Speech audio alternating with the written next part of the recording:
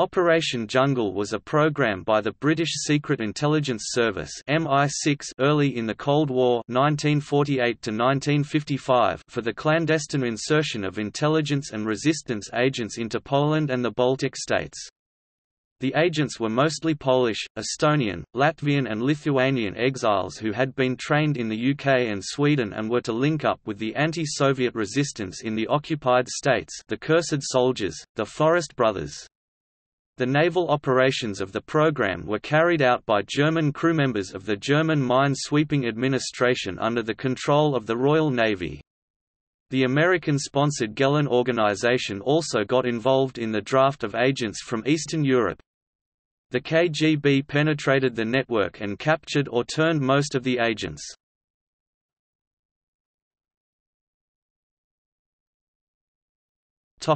History In the late 1940s MI6 established a special centre in Chelsea, London, to train agents to be sent to the Baltic states. The operation was codenamed, Jungle, and led by Henry Carr, director of the Northern European Department of MI6, and Baltic section head Alexander McKibbin. The Estonian group was led by Alfons Rebane, who had also served as a Waffen-SS Standartenführer during Estonia's occupation by Nazi Germany, the Latvian group led by former Luftwaffe officer Rudolf Silarājs and the Lithuanian group led by history professor Stasys Žymantas. The Gehlen Organization, an intelligence agency established by American occupation authorities in Germany in 1946 and manned by former members of the Wehrmacht's Fremde Heere Ost Foreign Armies East, also recruited agents from East European émigré organizations for the operations.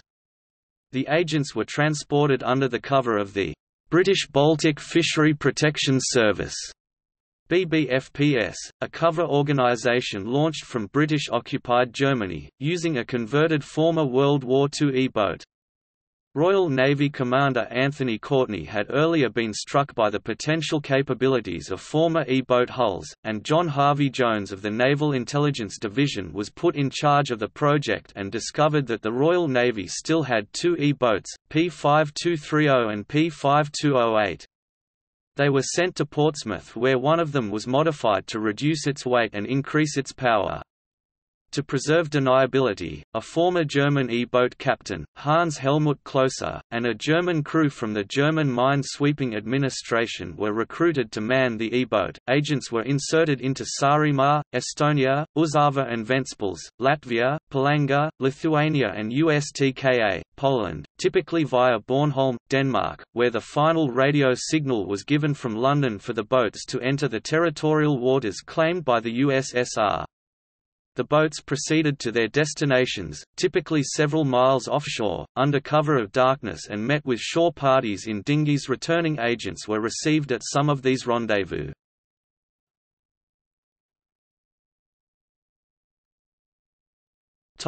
Phases The operation evolved into a number of phases. The first transport of agents occurred in May 1949, with six agents boarding the boat at Kiel. The vessel was manned by Klose and a German crew. The British officers on board, Lieutenant Commanders Harvey Jones and Shaw, handed over the command of the boat to Swedish officers in Simrishamn, southern Sweden. The German crew then proceeded via the cover of Åland Island, then east to Palanga, north of Klaipeda, arriving around 10.30 pm. Within 300 metres of shore the six agents disembarked in a rubber dinghy and made their way to shore. The boat returned to Gosport, picking up the British officers at Simrishamn and refuelling at Borkum. Following the success of the initial operation, MI6 followed up with several more improvised landings via rubber dinghy. Two agents were landed at Ventspils on 1 November 1949, three agents landed south of Ventspils on April 12, 1950 and two agents in December at Palanga. In late 1950, British naval intelligence and MI6 created a more permanent organisation with Klose hiring a crew of 14 sailors and basing the boat at Hamburg-Finkenwerder. The British Baltic Fishery Protection Service was thus invented as a credible cover story given the harassment of West German fishermen by the Soviets. The operation evolved with a secondary task of visual and electronic reconnaissance of the Baltic coast from Saaremaa in Estonia to Rügen in East Germany. For this purpose the boat was refitted with additional fuel tanks for extended range and an extensive antenna suite and American equipment for COMINT and ELINT. During this phase, four landings were performed between 1951 and 1952 with 16 agents inserted and five agents retrieved. In August 1952, a second E-boat was put into service as a refueling and supply vessel and consort for the SIGINT operations, under the command of Lieutenant E. G. Muller, a former executive officer who served under Klose during World War II. Eight Polish agents were inserted during this period using seaborne balloons. During during the period 1954–55, three new German-built motorboats of the Silbermöwe class replaced the old E-boats. They were christened Silvergull German name Silbermöwe, commanded by H. H. Klose, Stormgol German name Sturmmöwe, commanded by E. G. Muller, and Wild Swan German name Wildschwan, commanded by D. Ehrhardt. They were built at the Lürssen dockyard in Bremen-Vegesack for the West German border police, but under the pretense that the boats exceeded the speed allowed by the Treaty of Potsdam, French and British authorities confiscated the vessels for Klose's missions. In February 1955, during a SIGINT sweep from Brüsterort to Liepaja, there was a 15-minute engagement off Klaipeda with a Soviet patrol boat. Ehrhardt's Wild Swan was fired on by the Soviets but the German boat slipped away at top speed.